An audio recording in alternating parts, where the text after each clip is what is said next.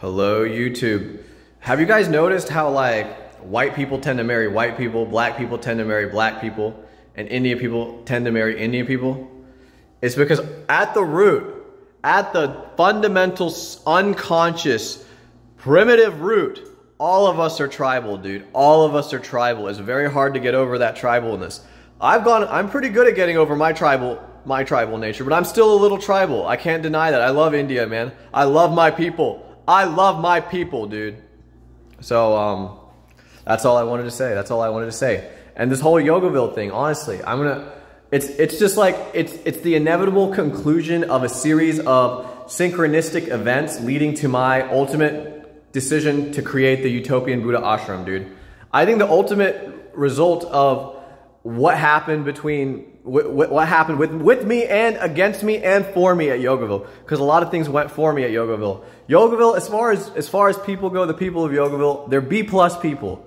B plus, some of them are C's, some of them are B minuses, but I'll give most of them a B plus average human being. Uh, but, but anyways, but what I'm saying is, I gotta create the Utopian Buddha Ashram at Yogaville because I like Satchidananda's energy, I like Shivananda's energy, and I like the energy there. So I'm to create the Utopian Buddha ashram at Yogaville. And the inevitable conclusion, once all of these original people at Yogaville, you know, like die off, I think it's like my, my Utopian Buddha movement is to like influence the Yogaville movement. I am willing to let Satchidananda have the original ashram. He can have Satchidananda ashram at Yogaville. But I refuse, so I guess I can't be the spiritual leader of all of Yogaville, but I'll take half. I'll take half. I'll take half.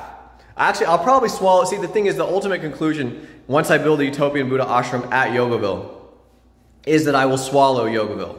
I will swallow it with my with my uh, grandeur, dude, with my delusional grandeur to create a better world, dude. I'm gonna swallow Yogaville. I want to go as big as I absolutely can, dude. I, I, some people, some people looked at me and they're like, "You're gonna be famous." They knew it, and then I was like, "Wait, wait, wait, wait." And then some people said like, I was like thinking like, what, what do they mean by famous? And some people was like, I, one dude said, I see thousands of people behind your eyes. So that was deep, that was deep. But I was like, thousands? Why should I settle at thousands, man? I want tens of thousands. Hundreds of thousands is my realistic goal. But if I hit millions, dude, I'll be happy. If I hit millions, I don't think I'll ever hit a billion. So I'm, I'm, I'm guessing at the fame, the level of fame that I'm trying to achieve is hundreds of thousands of people. But if I hit millions, man, that'll be that'll be a that'll be a showstopper right there, right? Like like let's go, man. Let's see how big I can go. All right. I gotta grow my hair out. I gotta work out, guys. I gotta work out. I gotta get better looking. I gotta get in shape. I gotta get psych psychologically in shape. I gotta up my reading game. I have to I have to focus right now on the future um, minds. Like yeah, the, the the vision has got to has got to guide me into a positive future where this vision is manifested. All right, I'll see you guys later.